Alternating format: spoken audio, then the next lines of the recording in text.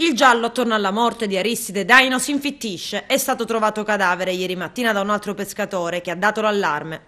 Il corpo senza vita del quarantenne, originario di Favara, ma residente da tempo nella città marinara, era in acqua nel porto di Porto Empedocle senza pantaloni e con solo una scarpa.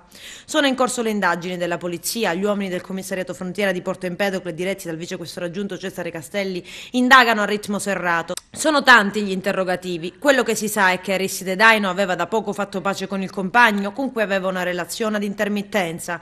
Era andato a dormire in barca, era un esperto nuotatore, figlio di Parombaro. Si esclude il suicidio, non si esclude l'incidente. Ma perché era senza pantaloni e senza una scarpa? L'altra scarpa è stata trovata in acqua, ma dei pantaloni ancora nessuna traccia. Quello che stanno facendo gli agenti è cercare di ricostruire le ultime ore di Aristide Daino. Pare che sia rimasto in compagnia di un uomo che ancora gli agenti non sono riusciti a sentire. Stanno però ascoltando e scandagliando tutti gli aspetti e le abitudini dell'uomo.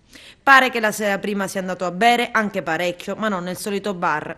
Aveva piccoli precedenti legati al mondo della droga, era assuntore e pare che dovesse dare dei soldi a un gruppo di extracomunitari. Proprio con loro, secondo quanto stanno ricostruendo gli agenti del commissariato frontiera, aveva avuto una lite.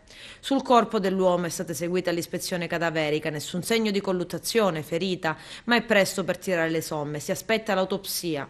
Già nella giornata di ieri la polizia ha iniziato a visionare le registrazioni delle telecamere, qualcuna, quelle della capitaneria, senza ottenere risultati, poi anche quella di un bar ed oggi visioneranno quella di un altro privato.